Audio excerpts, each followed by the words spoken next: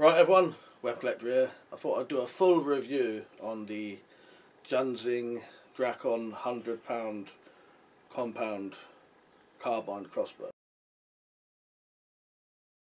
So this is the Drakon. I call it a carbine because it's, you know, it's a very small crossbow really. It's a lot smaller than a full-size crossbow and really not much bigger than a pistol crossbow, especially the pistol crossbows you can buy that have a stock on them.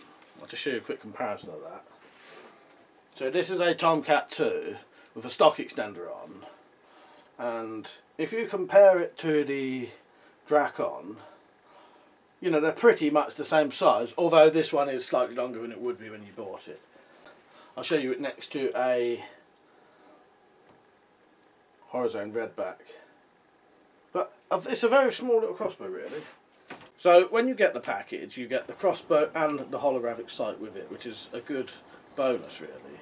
And it's a very good quality sight. Well, as far as I'm aware, it's a good quality sight. It's certainly better than some of the red dot and holographic sights I've had with other crossbows. So it's 26 inches long and has a extendable sort of AR-15 type stock. So you press the little handle up and it will adjust to four different positions. So the crossbow when it's fully extended is now 26 inches. So you get about 3 inch sort of extension there. It's got an ambidextrous handle and ambidextrous safety and ambidextrous cocking um, lever, cocking string on this. So to cock the crossbow you pull this handle back and it's set up with pulleys so that when you draw it is a lot lighter than the actual 100 pound limbs. And I've done a test on this and what you're pulling is around about 35 pounds. So it's a hell of a lot less than the actual poundage of the limbs.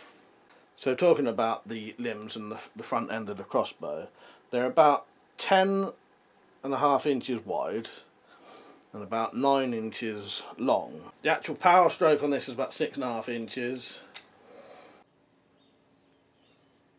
The body of the crossbow, as far as I'm aware, is either steel or aluminium with ABS for the pistol grip and the stock.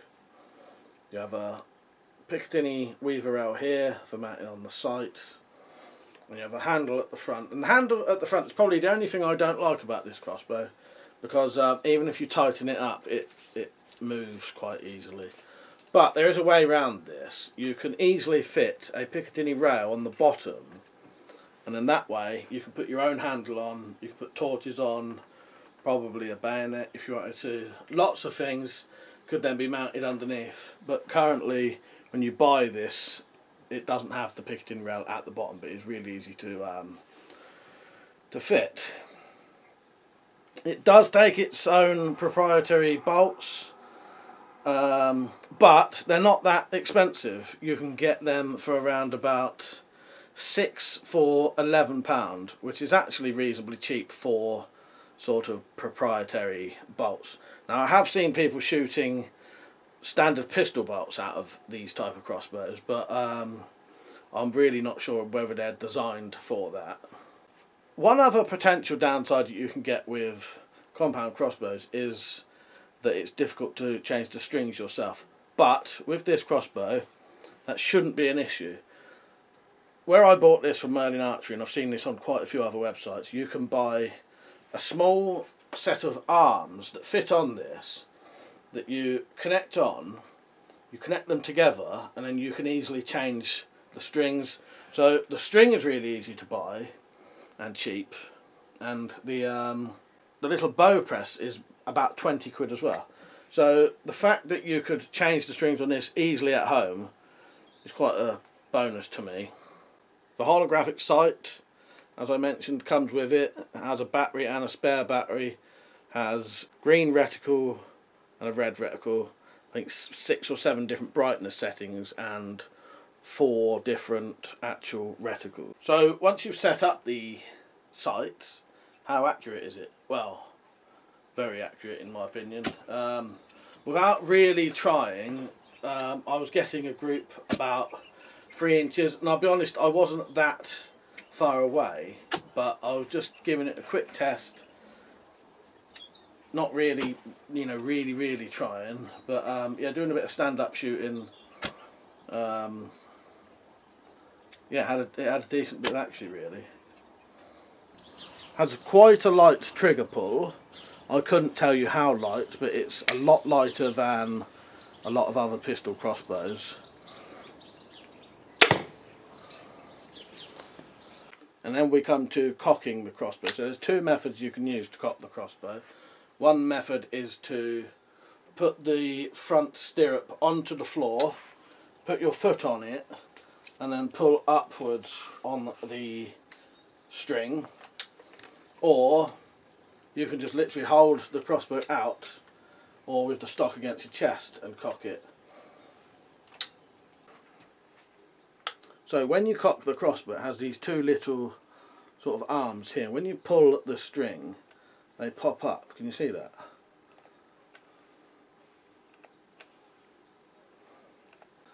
That little handle also has a magnet system on it. You can see there and under there. I don't know if you'll be able to see it.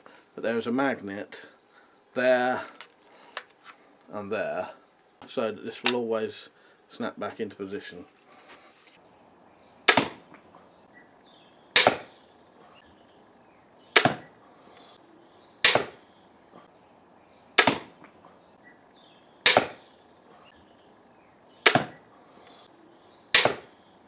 Nice comfortable stock on there as well, fits the shoulder quite well. And you can get a nice eye line on the sight.